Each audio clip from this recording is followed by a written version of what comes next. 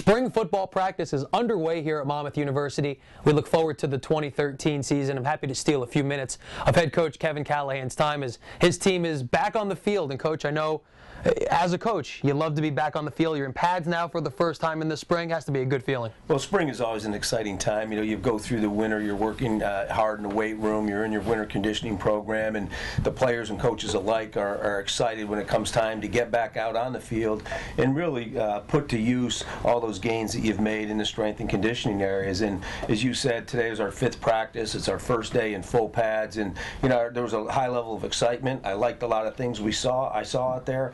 But as a lot of the first days of contact always are, there's some sloppy things that need to be cleaned up. Right, and coach, obviously that's going to be one of the things that you look forward to do, you know, every week in the spring. And I've spoken to you for the spring before, and one thing that always sticks out that you tell me is the progress you want to see your team make week to week leading up to that spring game on April 27th. Well, it, during spring practice, really one practice has to build upon the, the previous one, and you're, you're really spending a lot of time on fundamentals and trying to develop the players in, in each and every position while at the same time trying to determine, you know, who may be the guy stepping up or the next guy in line is going to replace uh, one of our graduating seniors. So that the, the, the plan in spring practice is really twofold. One, player development across the board, but number two, to find out who the guys are going to be to be the next man up, the guy stepping in to replace some of the graduating ones. And coach, is that the focus in the spring? It, maybe not as much uh, implementation of things for the fall, as much as it is really just getting them ready for that summer off season? Well, it, it's it's player development. It's it's fundamentals. It's blocking. It's tackling, throwing, catching.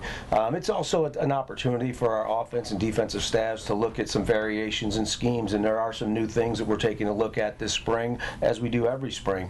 So it's the combination of those things. You have 15 days or, or 14 practices, and then a spring game uh, in which to work on that. So you've got to be smart about what what you're doing and going every other day, as we are right now on Tuesday, Thursday, Saturdays. We're able to have pretty good intensity in the practices. They have a day off in between and then come back on the following day. Well, I'm sure the, the fans would hear all that, hear the, the limited number of times, and say that's, that's a lot that you guys are doing in kind of a short amount of time. Well, it is, and but you know you do have those two hours each day to go, each practice day to go out there and work on certain things, and you know I, I like where we're at through five practices. We've been able to install uh, just about our entire offense and defense, uh, in addition to some new things that we're looking at. Uh, the players have made steady progress from the practices in helmets to the helmets and shoulder pads, and then today for the first time in full pads. And coach, before we talk about both sides of the ball, have to specifically mention, you know, kind of the the glamour position, what everyone's going to look at and that's the quarterback spot. You know, you, are going to graduate a player, and Kyle Frazier, who was a, a, a, stalwart back there for a long, long time. He has a couple local pro tryouts, which is obviously great news for the program, and, and not to single one position out, but losing Kyle now enter kind of the next phase of Monmouth football? Well, as you said, you know, Kyle's very fortunate to have workout opportunities with the New York Jets and also the New York Giants coming up here within the next week. Uh, but losing Kyle uh, and also losing uh, the backup from last season, Craig Peterson, right. has put us in a situation where we have four quarterbacks on the roster, none of whom have played in a game before, so they don't have the advantage of that game experience. Uh, and they're, they're, they range from junior, sophomore, all the way down to freshman. So it's going to be a critical spring for that position. We're looking for one of the guys in that group to emerge and become the leader, uh, a guy who can separate himself from the other three, a guy who can demonstrate that not only does he have command of our offense, but he has the leadership capability to be our on the field general, so to speak, for our offense.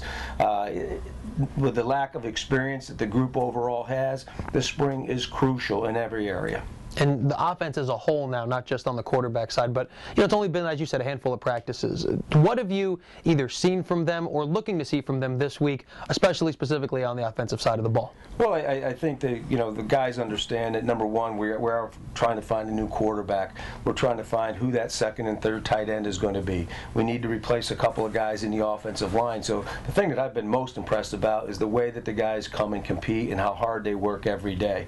You know, when you're going against yourself offense against defense. There's going to be good things and bad things on both sides of the ball. But the main thing you want to get is the tempo that you're practicing at, how hard you're working, and how much you're competing. And so far, I've been very satisfied with that with our offense. And then to, to kind of flip it on the other side of the ball, you know, you, you cut your teeth as a defensive coach. So specifically on that side of the ball, what are you keeping an eye on? Well, we, we need to uh, replace uh, one of the linebackers, and the interior of our defensive line is probably the focus right now.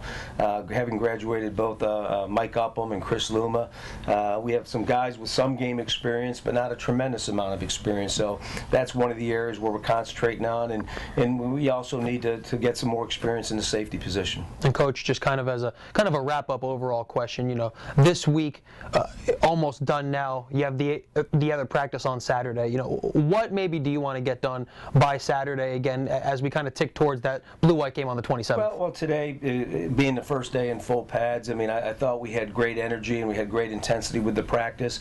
But as often happens in your first time uh, going full gear live contact situations, you know, there's some sloppiness on both sides of the ball that we need to clean up. And as I talked to the team after this morning's practice, that's something that we have to clean up and eliminate heading into Saturday. Saturday, I expect us to, to execute and function uh, much better than we did today. I also expect us to take another step forward, uh, be a little bit more aggressive, uh, be sure of what we're doing, compete a little bit harder. And I think if we continue to do that day after day throughout the spring, we will be where we need to be come April 27th. Well, Coach, we appreciate a few minutes today, and we will periodically check in with how things are going up leading up to that spring game. I appreciate it, Eddie. Thank you. That's the head coach of the Monmouth University football program, Kevin Callahan. We will be checking in with the Monmouth Hawks during their spring season. Again, it all leads up to the spring blue white game on April 27th.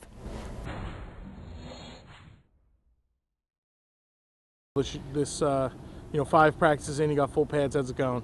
Uh, it's a lot of fun, you know. I mean, been waiting all winter, working, working out, running, doing condition stuff.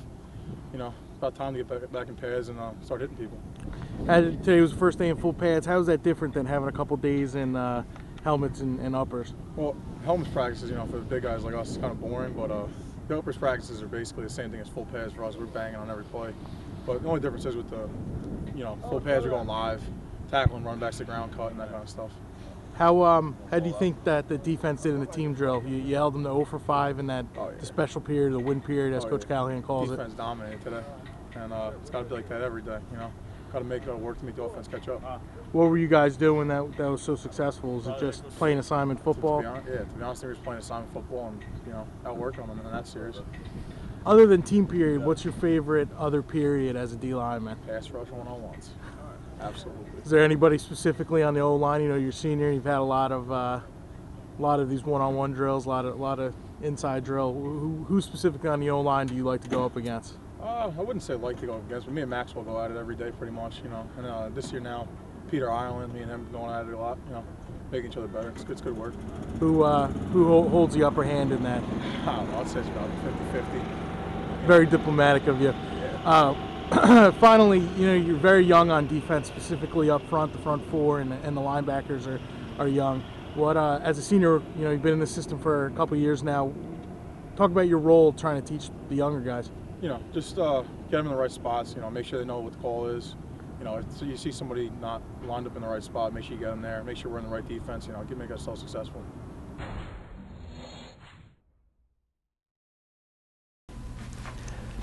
As we continue to look at this Monmouth football team in the spring season, have the, the defensive line coach Juwan Jackson with me now, and, and we're going to take a, a look not only at that defensive line but also the Monmouth defense as a whole.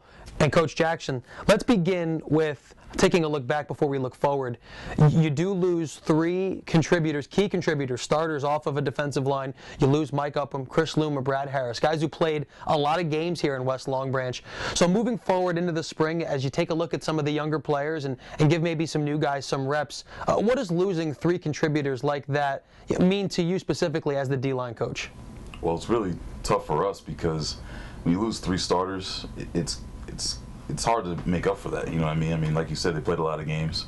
You know, Mike Upham started since a sophomore. Luma started two years ago, played as a backup, and came back, a bit started again. And Brad Harris also started for two years. So it's tough to replace that type of experience. Know, So now you're asking other people to step up for you. Now the good part is the way we play. Luckily, we always try to play seven or eight guys in a game. You know, so a lot of those younger guys actually got reps, not as many as they wanted to, but they got more reps and they've been game ready. And so now we still have about six guys on the roster who've actually played for us and understand what it means to work hard and be out there and you know what it takes to go against bigger, stronger individuals. You know, so I think that's that's one thing that's great for us. And guys like uh, even like uh, Samanowitz or Demetrius Smith or um, even Patrick O'Hara, who is now a senior himself, but uh, been playing since he was a sophomore, at least 10 plays a game. You know, that really makes up for us up front. You were on kind of both sides of it. You played, now you coached. So going through what you just mentioned, players who maybe were in the rotation but now could be relied on to start, how does that change a player's mindset?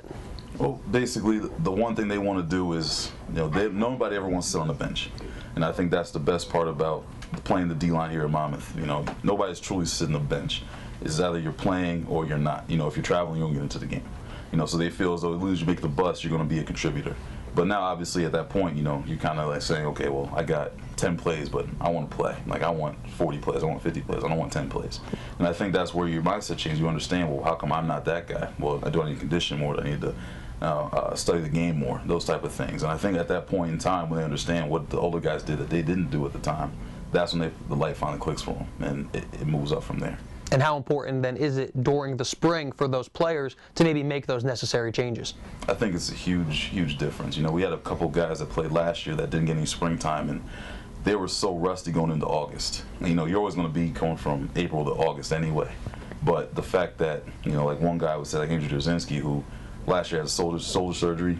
You know, came in August and didn't play as well as I would have liked to have, and now he's already gotten a lot better just from playing from the fall and actually contributing now in the spring. And now all of a sudden he's making big strides.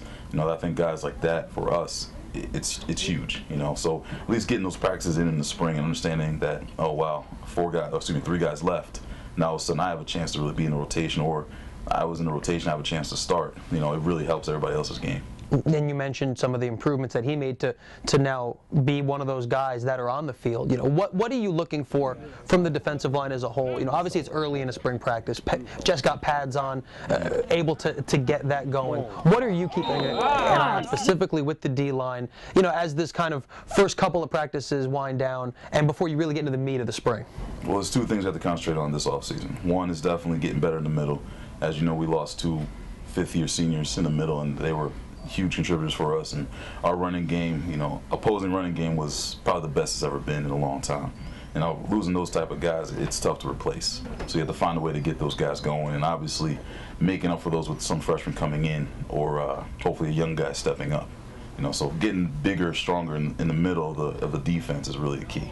And the second is pass rush. Um, we weren't very good at it last year. Um, we had some times we were okay at it, but as a whole, as a defense toward the end of the year, we just didn't do it as well as, as we had in the beginning of the year or even the season before. So we had to find a way to create that a little bit better, and I think we have. Um, you know, we have some young guys that are that are pretty good at it. Um, Zach Irizarry, he's one who, uh, you know, he came down to me from linebacker, and you know he's doing some a pretty good job in the quarterback right now, as well as uh, Darnell Leslie now as a freshman. He's actually stepped his game up, and uh, you know he has some pretty good moves for a young guy. So we'll see how he how he goes. But I think we're already better up front than we were, at least in the pass rush wise. I just don't know about stopping the run. Obviously, we got some details we need to step up.